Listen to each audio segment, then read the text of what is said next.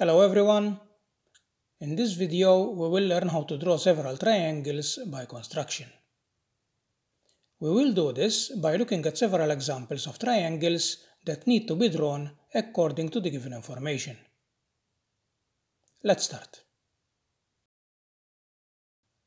In our first example, we need to draw triangle ABC given that AB is 90 mm, BC is 70 mm, and AC is 80 mm. This construction is very easy. First, we draw side AB 90 mm long. Next, we know that line BC is 70 mm long, but we do not know the angle CBA.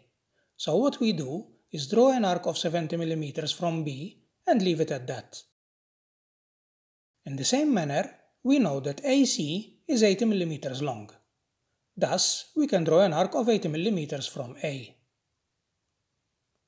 Since our first arc is 70 mm away from point B and our second arc is 80 mm away from point A, then the point of intersection of those two arcs is both 70 mm away from B and 80 mm away from A.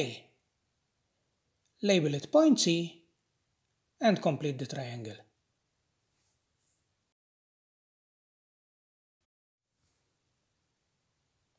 In example number 2, we are given two sides and their included angle.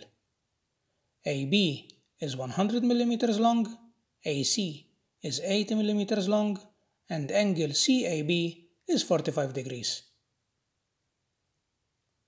Start off by drawing line AB 100 mm long. Next, construct angle CAB at 45 degrees. Mark off the length of line AC at 80 mm and finish off the triangle by drawing line BC. And this triangle is also done. In this third example, we are given the base and two base angles.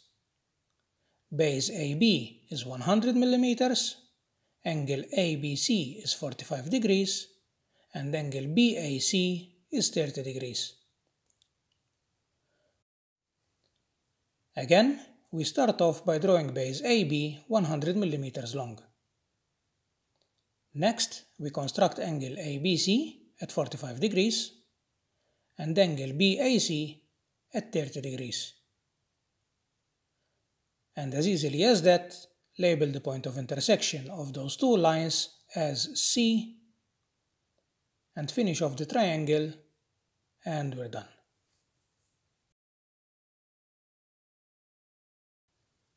Example number 4 is very similar to example number 2. We are given the base, one base angle, and the length of the side that is opposite to the base angle. Make sure you know the difference between those two examples and review the video if necessary. Side AB is 90 mm, BC is 70 mm, and angle BAC is 45 degrees. Start off as usual by drawing line AB at 90 mm. Next, construct angle BAC at 45 degrees. Finally, draw an arc of 70 mm from point B. This arc intersects line AC at C. Label this point and finish off the triangle by drawing line BC.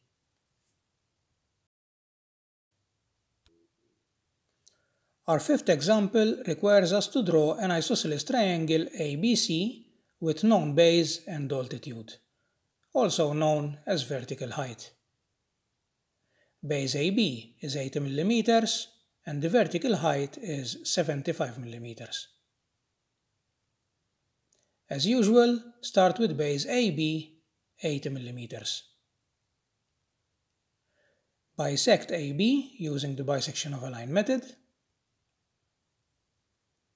Extend the perpendicular bisector and mark off a distance of 75 mm from the base. Label this point SC and finish off the triangle.